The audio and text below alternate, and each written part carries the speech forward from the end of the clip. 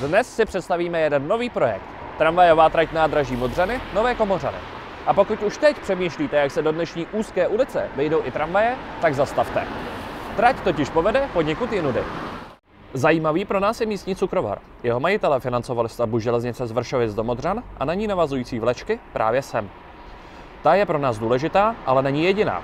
V dnešních Komořanech nalezneme další bývalou vlečku, která vede do průmyslového areálu, tedy vedla.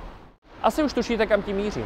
Po obou zrušených tratích zbyl nevyužitý prostor, či jsou v jejich stopě stále koleje. A právě tento prostor plánuje Praha využít při stavbě této tramvajové trati.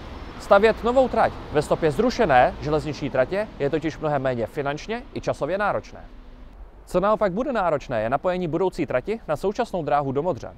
Když se podíváme na historické letecké snímky, můžeme si za zastávkou nádraží Modřany všimnout takové klikatice a rozšíření náspu. Právě zde bylo už historicky plánováno odbočení do Komořan. V územním plánu ale žádnou přípravu nenajdeme. Co hůř, už dlouho je v něm zanesen silniční převaděč od Pražského okruhu, který se s trasou naší tramvaje dost kreje. A vlastně bychom mohli říct, že s ní soupeří. Snad tedy tento obrazný souboj vyhraje tramvaj. Trať po vyřešení problému napojení využije zmíněná bývalá drážní tělesa a dokonce poblíž dnešní železniční trati vznikne nová zastávka Modřanské laguny. Pak se po železniční vlečce dostane sem na zastávku Komořany a bude pokračovat dále na Nové Komořany. Ovšem neděste se, nepojede stejnou ulicí jako dnešní 117.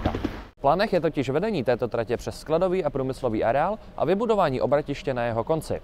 K zástavě je to tedy trochu dále, ale možná to obyvatelé za cenu nižšího hluku i ocení.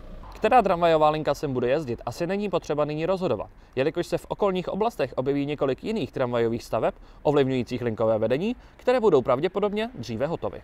Do nového dokumentu nám tedy přibyl tramvajový projekt s reálným výhledem na stavbu. Komořany jsou rozvojová oblast a aktuálně zde vzniklo či vzniká několik nových sídlišť. Tramvajová doprava je zde tedy určitě žádoucí a je dobře, že ji konečně máme i v koncepčním dokumentu.